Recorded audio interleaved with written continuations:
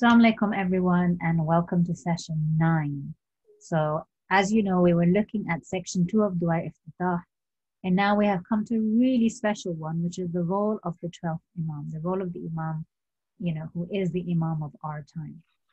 And the first question we wanted to look at was uh, the first question that's put down there, which is why is the coming of the Imam so important for the believers?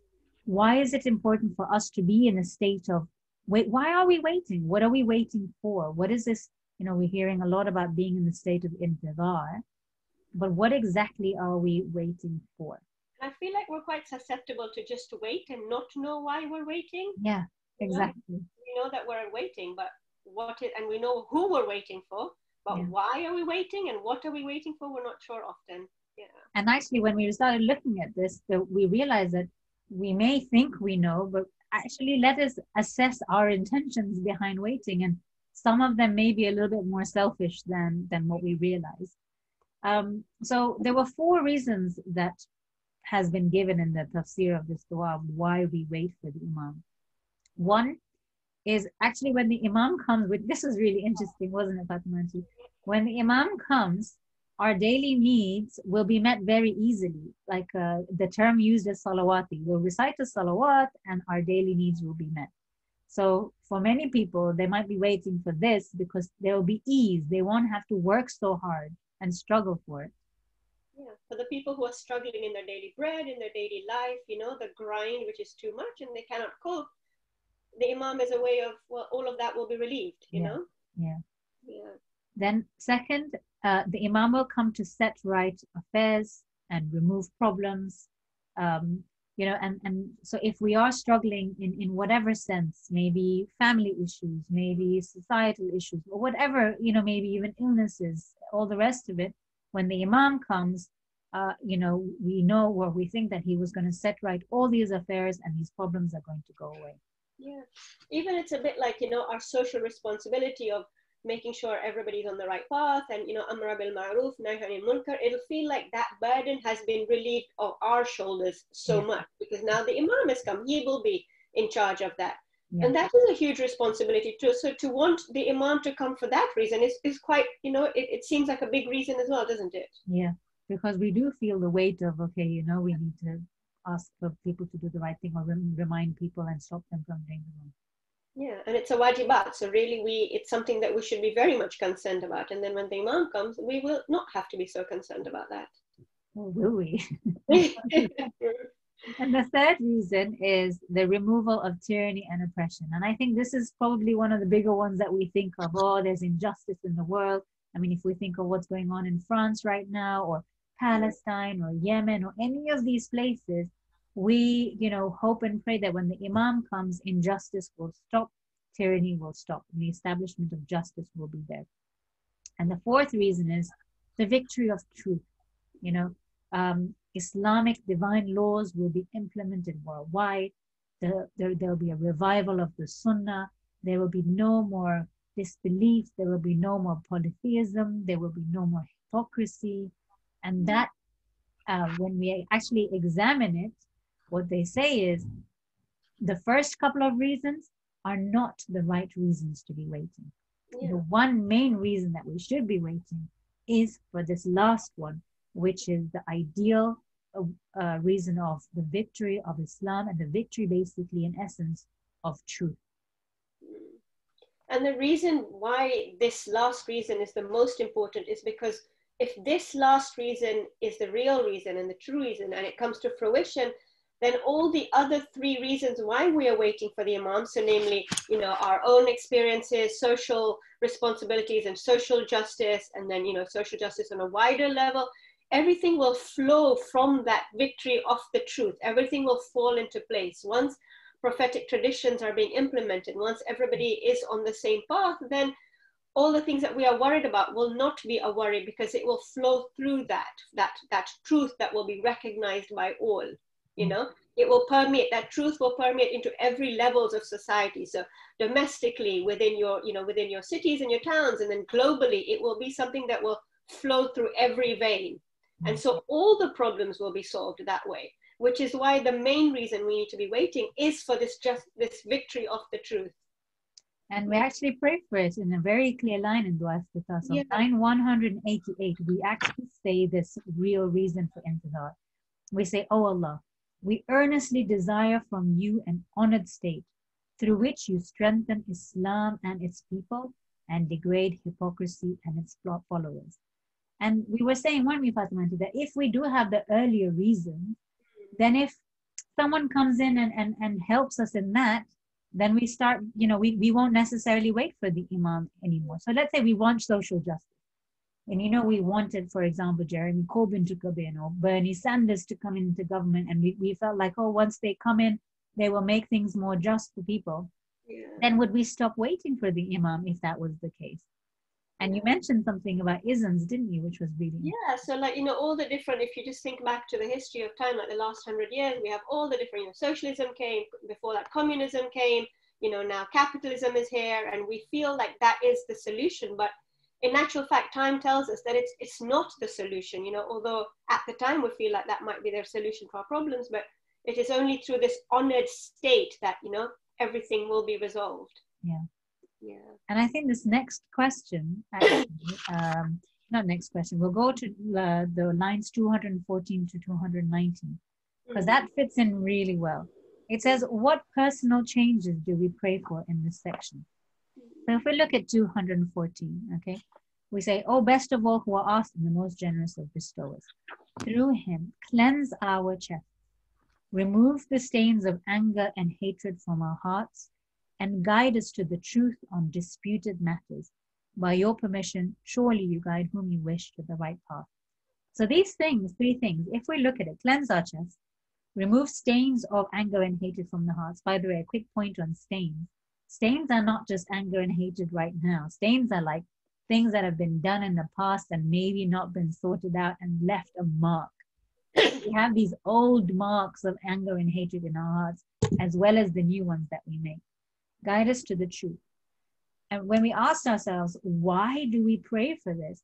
It goes back to that point you made, Fatimanti, about how our responsibilities will be alleviated. We think that once the Imam comes, we won't actually have to do Amr bil Ma'ruf and Nahi anil Munkar.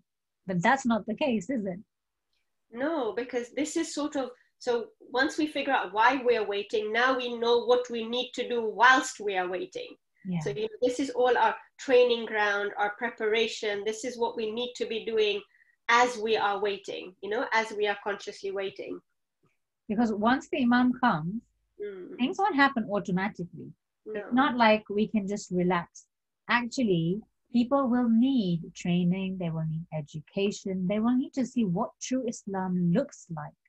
And we need to be those role models. We need to be at the forefront and invite people to the Imam, to the truth, to Islam through our words and our actions. So that's really, really important that our duty then, if we are in the state of intidar, we are basically muntadirin, those who are waiting. And our duty then, as muntadirin, is to know the truth and to act on it as much as we can. So, looking at this anger and hatred, for example, how can we invite people to the love of Allah and the, the, the beautiful love in our faith if we have anger and hatred in our hearts? It's just not possible. So, we need to be actively working on increasing our knowledge of our faith a- and, and then improving our actions so we can really be there ready for the Imam when he comes. And just on a practical note, China, you know, when we say anger and hatred, it's not like we're going to go out and vent our anger to the world or anything like that. It's our little practical habits at home. You know, how calm are we? How quick to react are we? You know, how you know how um, amiable are we with our siblings and our family members, especially in the month of Ramadan? That is that is the simple level of this anger and hatred that is being talked about. You know, mm. in our personal lives, in our homes, in our daily interactions how calm are we and how are we able to sort of you know digest information before we kind of spit out what we want to spit out and hold our tongue. These are all the practical steps that we as muntadirin should be focusing on. Otherwise, it's just lip service, isn't yeah. It? And actually, we have examples in our past of people who've done lip service, but hmm. when the moment came, they hmm. didn't actually follow through. So, Prophet Musa's time, for example, Mhm. the people, uh, you know, the Israelites at the time were waiting for a savior. Mhm. they were wanting uh, a savior to come and help them and save them from Fir'aun, save them from the, you know they were being sla- they were held as slaves and and all the rest of it. Then a savior came. They saw miracles in front of them, and yet when Prophet Musa went up for, for thirty days, they st- or forty days rather it ended up being, they started worshiping you know a cow again, and they turned their backs. Exactly. Even you know the people of Medina who were waiting for the prophet. Yeah. When he came, they saw him. You know, he, he he explained everything to them, but still, then you know they were not ready. They could not accept him. and you it's, know, it's not going just to be one.